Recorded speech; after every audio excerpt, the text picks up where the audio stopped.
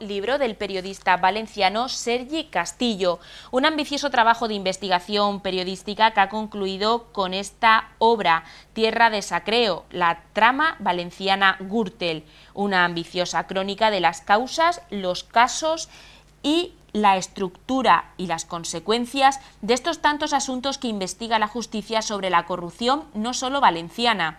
La conclusión principal es que ha habido un cúmulo de circunstancias en la comunidad valenciana que sirvieron de imán para todos los corruptos del mundo. Tierra de Saqueo toma como referencia de partida la caída del que fuera presidente de la Generalitat Valenciana, Francisco Camps, a causa del caso Gürtel, pero también indaga en todos aquellos asuntos como el caso Brugal.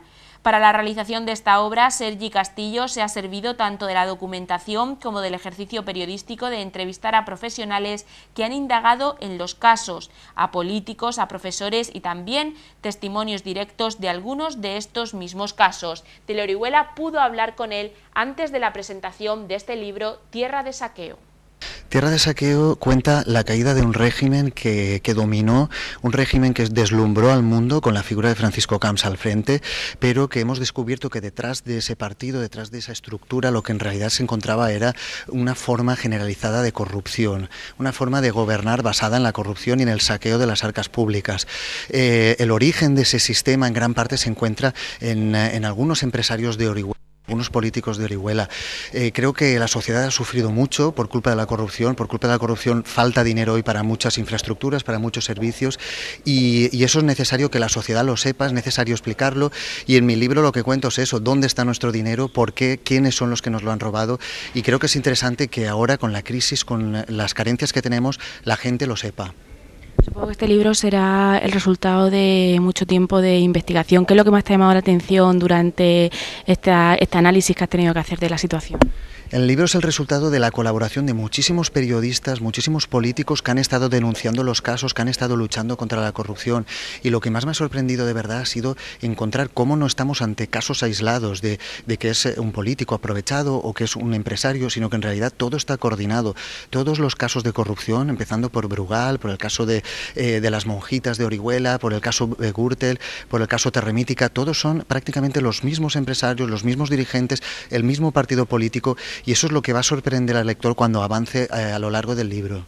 Hablabas antes especialmente de Orihuela. Hoy que nos encontramos aquí, ¿qué relación mm, has encontrado en esa trama de corrupción eh, con Orihuela? Con el Partido Popular creo que te referías. Eh, nos encontramos en Orihuela donde, por desgracia, eh, el nombre de la ciudad, que es un nombre que debería asociarse a una figura como Miguel Hernández, pues por desgracia se asocia a la corrupción por culpa de unos dirigentes, gran parte de los cuales han sido condenados por corrupción, algunos han entrado en prisión, que han gobernado esta ciudad, que han hecho con el dinero de la gente de aquí, de los vecinos. Eso es lo triste, ¿no? ¿Dónde ha ido a parar nuestro dinero? Y ahora nos falta para colegios, para enfermeros, para hospitales. Y, em, por desgracia, muchas flechas, muchas direcciones y todos los casos de corrupción terminan llegando a Orihuela.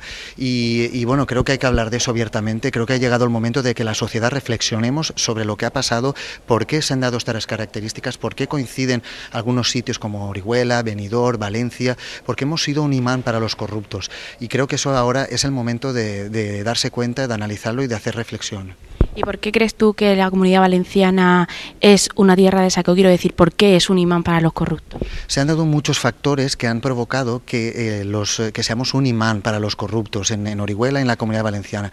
Uno de ellos, el principal, es que hemos tenido unos dirigentes muy predispuestos a aceptar eh, regalos, a aceptar... Eh, eh, de alguna forma compensaciones por contratos y ese ha sido el elemento básico. Luego están muchísimos otros, como eh, la afluencia de dinero por el boom urbanístico, que ha dado muchísimo dinero, que las arcas públicas estuvieran llenas, el clientelismo, cómo se ha contratado tanto a, través de las empresas públicas como a través de empresarios afines a mucha gente, que era un voto cautivo, que era un voto que impedía que los partidos de la oposición estuvieran en igualdad de condiciones a la hora de concurrir a, a unas elecciones, ¿no? partían con ventaja los que estaban gobernando.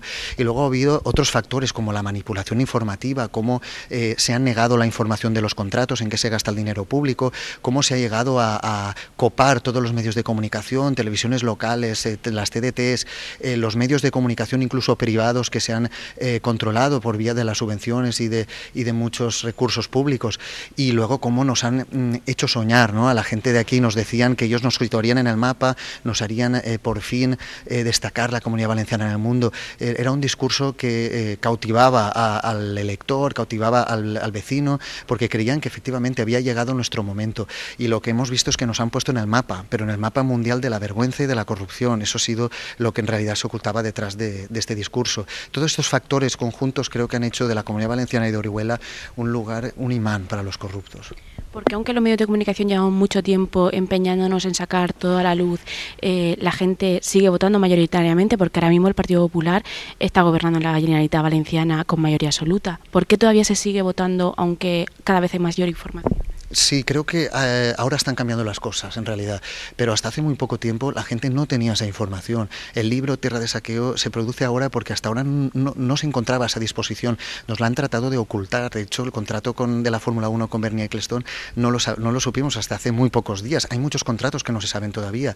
La información yo creo que al ciudadano de a pie todavía le cuesta en llegar. Y creo que el libro se trata de eso, ¿no? de, por fin eh, darle toda esa información. Creo que hacía falta, no existía el, hecho de la falta de información es que no hay ningún libro todavía eh, donde se cuente lo que nos ha pasado a los valencianos, el caso Brugal, el caso Terramítica, el caso Ibex.